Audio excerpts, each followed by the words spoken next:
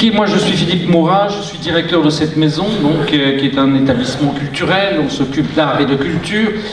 Et euh, depuis le temps que nous collaborons euh, à ce salon avec le, mouvement Freinet, nous savons bien ensemble, le mouvement Freinet et nous, que, bien des questions nous réunissent, nous, établissements culturels, et, et eux, vous, mouvement pédagogique. La question du désir n'est pas des moindres parce que euh, certains nous assigneraient volontiers à la fonction de pourvoyeur de produits culturels répondant à des besoins, comme on assigne parfois les enseignants au rôle de fournisseurs de connaissances répondant à des besoins de formation.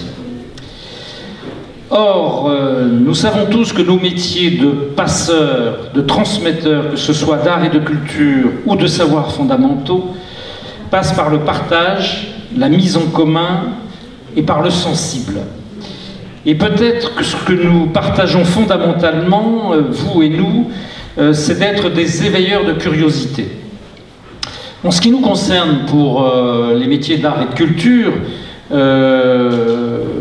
il faut savoir que l'art est encore catalogué comme, comme recherche du beau. Mais on sait, on sait depuis, depuis Baudelaire que le beau est toujours bizarre.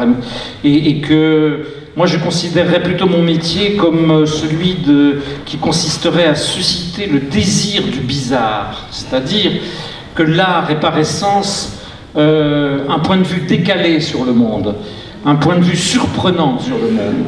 C'est une espèce de guérilla euh, contre tous les essentialismes, contre toutes les évidences qui euh, tendrait à nous prouver que le monde il est comme ça, il s'utilise comme ça, que la réalité c'est ça et pas autre chose. Je pense que les artistes euh, nous prouvent tous les jours que c'est justement toujours autre chose la réalité selon le point de vue où on se place et qu'il y a toujours matière à imaginer un autre monde en quelque sorte.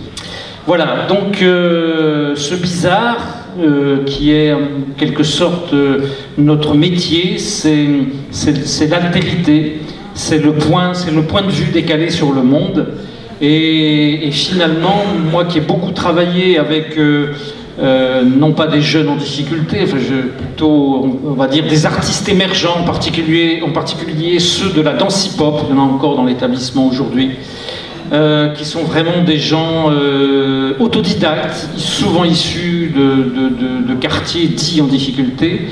Et quand la curiosité les a pris par la pratique artistique, euh, de découvrir des formes d'expression d'autres musiques, voire même la littérature et d'autres esthétiques, une expression qu'ils emploient très volontiers et qui me plaît bien, ils disent on a faim.